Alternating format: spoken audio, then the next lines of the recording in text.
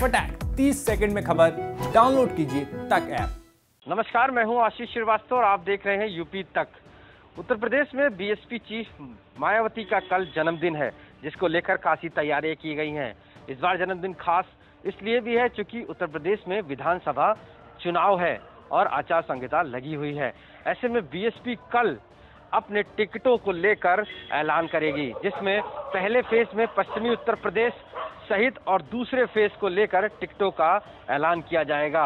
हालाँकि इन सीटों की संख्या तकरीबन सौ से ऊपर हो सकती है, जिसको मायावती अपने जन्मदिन पर जारी करेंगी। जिस तरीके से मायावती इस समय मैदान में है, चूँकि डिजिटल है, पूरी तरीके से कोई रैली नहीं हो रही है। ऐसे में कल एक और प्लान बड़ा लॉन्च होगा, जिसमें कहा जाएगा कि एचडी रैली और एचडी संवाद भी मायावती कल से शुरू कर रही हैं, जिसको लेकर कार्यकर्ताओं में काफ़ी जोश भी है। बताया जा रहा है कि कल से जो मायावती की प्रेस कॉन्फ्रेंस होगी, वो उसको भी पूरी तरीके से हाई डेफिनेशन एचडी में होगी और जिसको कार्यकर्ताओं तक पहुँचाया जाएगा। कल मायावती को सुनने के लिए प्रदेश के अलग अलग ज़िले में एलईडी लगाई जाएँगी एलसीडी लगाई जाएँगी, जिसमें कार्यकर्ता मायावती को सुन पाएँगे।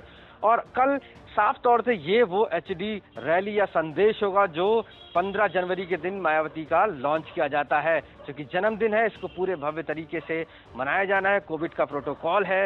इसके साथ साथ विधानसभा में चुनाव है। तो कि महत्वपूर्ण कल का दिन है बीएसपी के लिए। कल बीएसपी जिस तरीके से लोगों के लिए अपना दिन ये रखती हैं और एक बुक को लॉन्च करती हैं, जिसमें उनके जीवन का संघर्ष और काशी राम जी ने जितना काम किया, उसको लेकर संघर्ष की गाथा के लिए एक बुक भी लॉन्च की जाएगी, जो वॉल्यूम 17 ये बुक होगी। और सबसे बड़ी बात है कि मायावती कल ये अपना दिन जो है, वो बेसहाय लोगों के लिए मनाती हैं। उन लोगों की मदद के लिए मनाती हैं, उनके कार्यकर्ता पूरे प्रदेश में लोगों की मदद करते हैं अलग अलग जगह पर उनकी सहायता करते हैं। और इस तरीके से बीएसपी की चीफ का ये जन्मदिन मनाया जाता है। तो कल ये बहुजन समाज पार्टी के लिए बहुत अहम दिन होने वाला है, जिसमें सबसे पहले वो टिकटों का ऐलान करेंगी जिसमें पश्चिमी उत्तर प्रदेश यानी कि जो पहला फ़ेज़ है विधानसभा चुनाव का वो शुरू हो रहा उसमें और दूसरे फ़ेज़ को लेकर दो फेजों के टिकट कहीं ना कहीं पूरी तरीके से फ़ाइल की जाएँगी।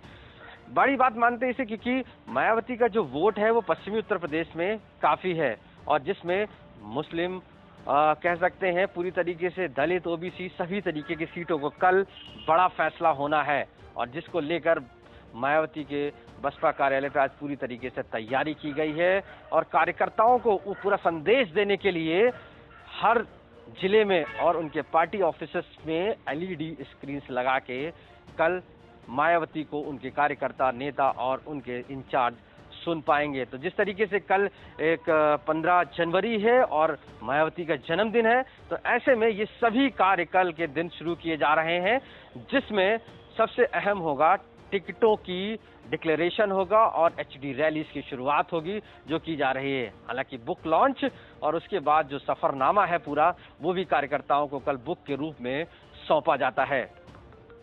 लखनऊ से आशीष श्रीवास्तव, यूपी तक।